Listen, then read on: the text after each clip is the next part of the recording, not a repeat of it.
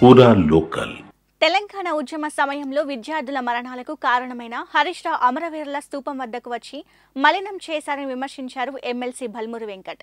హరీష్ రావు అమరవీరుల స్థూపాన్ని అపవిత్రం చేశారని పసుపు నీళ్ళతో శుద్ధి చేసినట్లు తెలిపారు.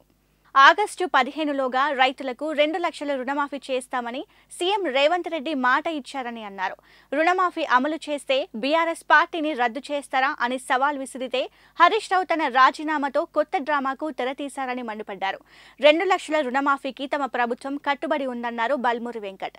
ఆగస్టు పదిహేనులోపు ఇచ్చిన మాట ప్రకారం హామీని నెరవేరుస్తామని చెప్పారు. తాను బాధ్యత తీసుకొని హరీష్ రావు రాజీనామాను ఆమోదించేలా చూస్తానన్నారు బల్మూరి వెంకట్. పోనీకి ఎవరైతే వారి ప్రాణాలు పోనీకి హంతకుడైన హరీష్ రావు ఏదైతే ఉద్యమ సమయంలో ఉద్యమ సమయంలో ఏదైతే నిరుద్యోగులని పొట్టన పెట్టుకున్న వ్యక్తి ఇవాళ ఇక్కడ రావడంతో ఈ యొక్క ప్రాంతం మైద చెందింది కాబట్టి సంబంధించి దాన్ని పసుపు నీళ్ళతో శుద్ధి చేయడం జరిగింది. హరీష్ రావు గారికి గత పది సంవత్సరాలుగా బీఆర్ఎస్ పార్టీ నాయకులకు ఏ రోజు కూడా అమరవీరులు గుర్తుకు రాలే.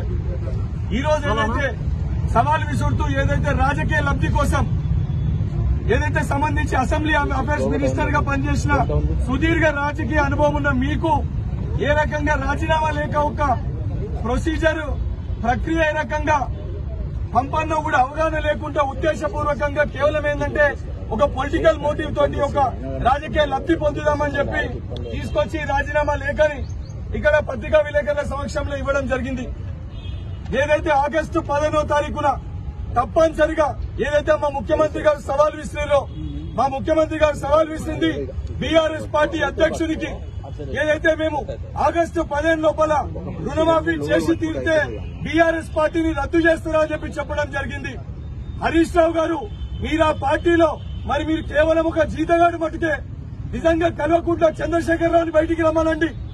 ఆగస్టు పదిహేనో తారీఖున ఏదైతే రైతులకి రెండు లక్షల రూపాయలు రుణమాఫీ చేస్తే బీఆర్ఎస్ పార్టీని రద్దు చేస్తామని చెప్పి కల్వకుంట్ల చంద్రశేఖరరావు గారిని బయటకు వచ్చి చెప్పమని చెప్పండి.